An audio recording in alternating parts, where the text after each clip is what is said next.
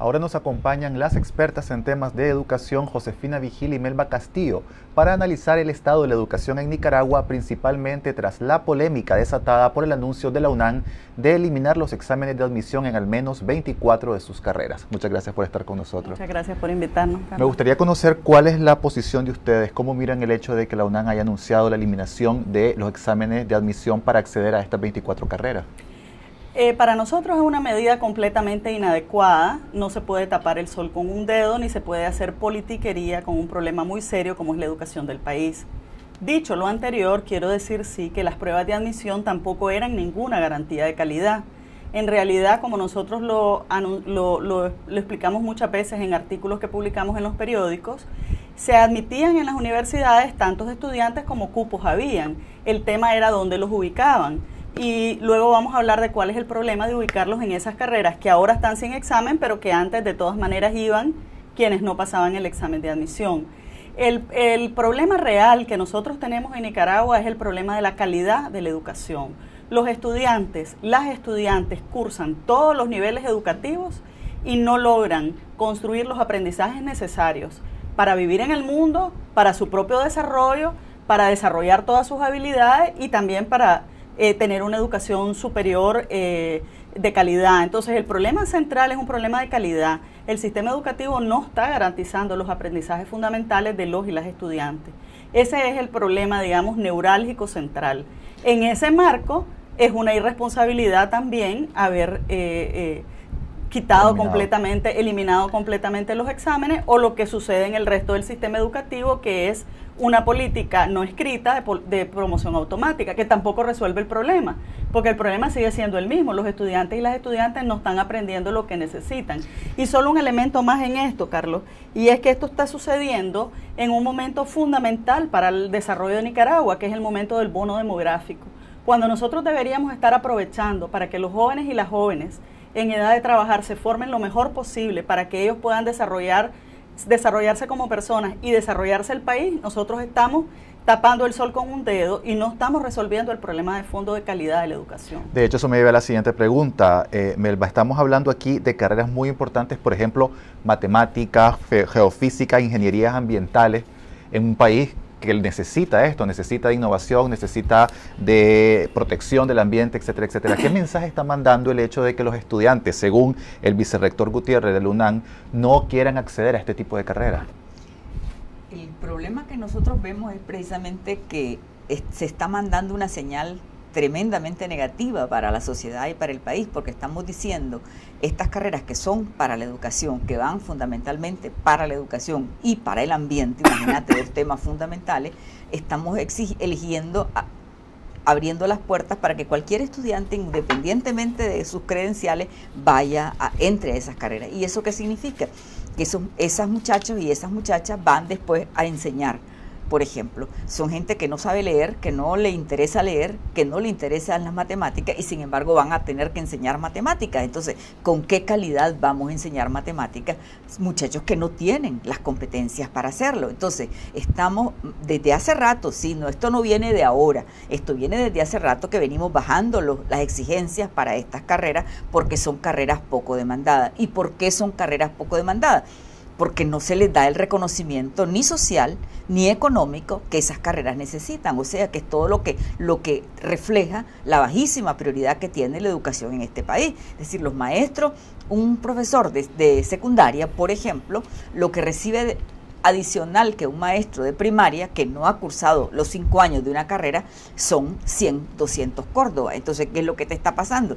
Que nadie quiere estudiar esas carreras. Es lógico, si un muchacho tiene las competencias para estudiar otra carrera, pues va a otra carrera donde va a ganar más. Una carrera de medicina o una carrera de, inclusive de abogados que van a ganar más que dando clases de matemática.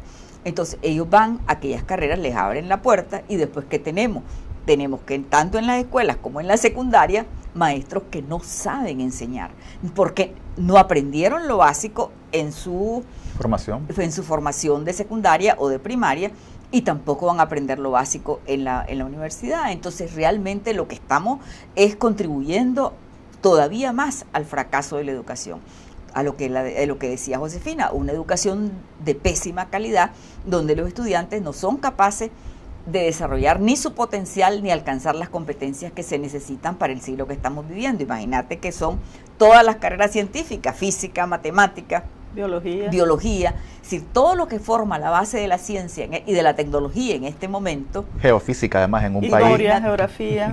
En un país donde se necesita tanto la ciencia y tecnología, donde no hay inversión en investigación tecnológica, donde no hay inversión en innovación y estás eliminando las, las restricciones o las, a estas carreras que podrían ser, si se les pagara bien a los profesores, por ejemplo, de estas áreas, podrían ser eh, carreras muy demandadas. Josefina, hablemos si se pudieran listar los principales problemas de la educación. Estamos hablando de un problema de liderazgo de un Estado, estamos hablando de un problema de presupuesto. ¿A qué se está enfrentando la educación? Es un problema sistémico. Eh, antes de, yo, yo quiero ponerte varios ejemplos. Tenemos, es decir, lo que tenemos hoy como resultado del sistema educativo nos indica que la educación en Nicaragua es un gran fracaso en la actualidad. Y como nosotros lo mencionamos en un documento que publicamos eh, hace un mes, y que está a la disposición de todo el mundo de manera virtual y también de manera física, se llama Las siete prioridades para la educación en Nicaragua. Iniciamos el documento haciendo un diagnóstico histórico de los problemas de Nicaragua y nuestra gran conclusión es que en los últimos 50 años los problemas del sistema educativo nicaragüense son exactamente los mismos. Y hemos atacado los problemas con soluciones a medias que no los han resuelto y por tanto el problema se va haciendo cada vez mayor, cada vez más grueso. Tenemos no hemos resuelto el problema del acceso. Hay un núcleo duro de la población que son exactamente los más pobres que no están accediendo al sistema educativo y que no van a acceder al sistema educativo estructurado tal como está estructurado. Es un sistema educativo pensado para el siglo XVIII, para la revolución industrial. Necesitamos repensar el sistema educativo, necesitamos repensar las modalidades y necesitamos repensar las políticas educativas. La calidad de la educación en Nicaragua, como lo estamos viendo ahorita, está por el suelo. Tenemos evidencias empíricas como las que vemos eh, los que damos clase en la universidad o los que damos clase en la secundaria o los que trabajamos en el mundo del trabajo. Los estudiantes no están construyendo las habilidades fundamentales que son las, las, habilidades que te permiten vivir en el mundo actual, leer comprensivamente, expresar tus ideas de manera oral y por escrito, eh, desarrollar pensamiento crítico, pensamiento matemático, el desarrollo del pensamiento divergente, de la creatividad, el uso de métodos en el mundo de la información y la comunicación cuando estás sometido a tanta información, ¿qué haces con ella? ¿Qué método conoces vos o has formado vos? Entonces, estamos nosotros en un sistema educativo que no está eh, construyendo los aprendizajes que se necesitan para vivir en el siglo XXI. Entonces, hay un serio problema de calidad y hay otros problemas, pero te quiero mencionar uno también que me parece que es importante y que este problema lo releva, y es el hecho de que el sistema educativo nicaragüense tiene todavía una sola salida, la universidad. Y eso no es ni, ni, ni acorde con el desarrollo de Nicaragua, no es lo que Nicaragua necesita, ni tampoco es acorde con las aspiraciones de todo el mundo. El sistema educativo nicaragüense, igual que la mayoría de los sistemas educativos del mundo, tendría que tener salidas múltiples y todas son igualmente válidas porque ahí hay un elemento que tenemos que superar. En Nicaragua tenemos una idea de que lo mejor es llegar a la universidad y que lo técnico es malo. Eso no es cierto. Eso es una, es una, una división que, que heredamos de Aristóteles y Platón, en donde el trabajo intelectual era el que valía, el trabajo físico no, pero que en el mundo actual no es así. Pero ¿por qué no se le ha dado importancia, por ejemplo, a la educación técnica en Nicaragua? Se sigue viendo como algo de segunda. Sí, es que el problema es que la sociedad valora más la educación universitaria e inclusive en materia salarial un estudiante que sale de la universidad tiene mucho más eh, mejor salario que un, profesional que sale solamente de una educación técnica. Sin embargo, las dos son necesarias y a veces hacemos hacemos profesionales sin tener la base suficiente. Entonces, ¿qué es lo que pasa? Por ejemplo, el, el, en el caso de un cajero de banco, por ejemplo, que te exigen que seas un licenciado ¿Para qué? No necesita ser un, profesional que pasó cinco años en una universidad. ¿Y qué es lo que pasa? ¿Qué es lo que están haciendo los bancos? Buscando profesores de matemáticas para que le den clase a esos cajeros que a esos licenciados, esos licenciados que, no cubrieron las asignaturas básicas. Entonces, realmente estamos formando malos profesionales cuando podríamos formar un técnico de muy buena calidad en menos tiempo, menos caro para el país y a lo mejor más, menos frustrante para él, porque no tuvo que pasar cinco años quemándose las pestañas o a lo mejor pasando fácil, ¿verdad? No importa, pero salió con un título que le costó dinero, le costó esfuerzo, le costó una cantidad de tiempo y que no le da las competencias que él necesita para el desempeño de su puesto. Pero te voy a poner un ejemplo de eso. Y es los mejores, las mejores escuelas de hotelería y restaurantes del mundo no son licenciaturas, son técnicos. Y no por eso ni son baratos ni son fáciles, son complejísimos. Es decir, nosotros tenemos que repensar el concepto que hay en el país de las carreras técnicas, porque esas las necesita un país como Nicaragua. Y no es lo que estamos ofreciendo. Y la universidad es una universidad que tiene que repensarse para este país también. Ustedes prepararon este estudio sobre las prioridades que, tiene que, eh, que tenemos que asumir todos de cara a la educación para comenzar a abrir un gran debate sobre este tema. Después de esta tragedia de la que nos han planteado y de la que estamos hablando, ¿Cómo podemos comenzar a solucionar este problema? ¿Cómo salimos de la tragedia? El primer tema es que nosotros necesitamos hacer un gran diálogo nacional sobre el tema educativo. La educación es demasiado importante para este país. El presente y el futuro de Nicaragua está en el desarrollo de los talentos de las personas. Todas las personas nacemos con talentos, venimos con aptitudes, pero necesitamos un proceso a través del cual nosotros podamos desarrollar esas aptitudes. Ese proceso es la educación. La educación tiene que convertirse en eso. Necesitamos hacer un gran diálogo nacional con la participación de todos los sectores. La educación no es propiedad del gobierno, es propiedad de todos nosotros, es un derecho. Todos tenemos el derecho y el deber de opinar. Tiene que haber un diálogo en donde participe el gobierno, la empresa privada, los educadores y las educadoras, eh, las ONG, todos los sectores de la sociedad. Y en ese diálogo nacional tenemos que ponernos de acuerdo cuáles son las prioridades, porque problemas tenemos por montones, pero hay algunos problemas que desencadenan otros. Nosotros, como es lo que hicimos en este documento, estamos proponiendo siete prioridades fundamentales para la educación nicaragüense del siglo XXI.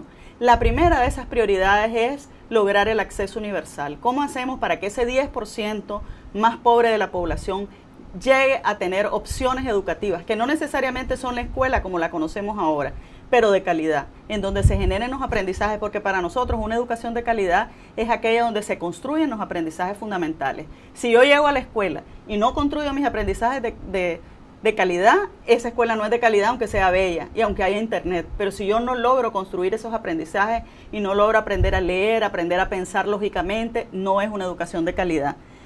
Lo que tenemos poco tiempo, el estudio está disponible, la gente lo, puede, disponible ver. En esta página, en nuestra página web de CIACES, está disponible, lo pueden bajar, lo pueden leer en línea. Si hay eh, universidades o organizaciones que quieren el documento en físico, podemos eh, darles algunas copias de este documento, pero lo que nosotros hicimos fue organizar estas prioridades desde los distintos ámbitos.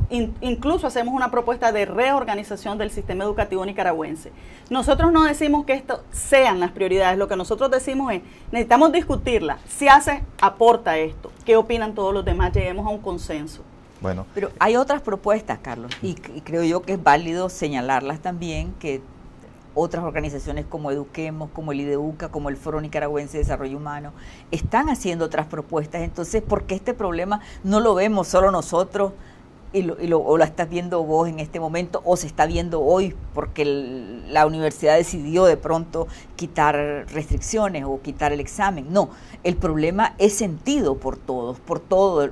todos los empleadores se quejan de que los profesionales no les llegan con las competencias requeridas, los, los profesores universitarios se quejan de la mala calidad con la que llegan los, los bachilleres, los profesores de secundaria se quejan de la mala calidad con la que llegan los estudiantes de primaria. Entonces, es un problema que la sociedad lo está viendo y por eso es que nuestro llamado a hacer este acuerdo, a buscar esta base de ese consenso para poder resolver el problema, porque el gobierno solito no va a poder, o sea, por más que digan y que haya gente muy capaz ahí, pero no va a poder solo porque la educación es demasiado importante como para que una sola instancia la resuelva. Yo una cosita más nada más te quiero decir eh, a propósito del tema con el que iniciamos, que es la universidad. El pueblo de Nicaragua hace una inversión demasiado grande en la universidad. El 6% de todo el presupuesto nacional va a parar a las universidades.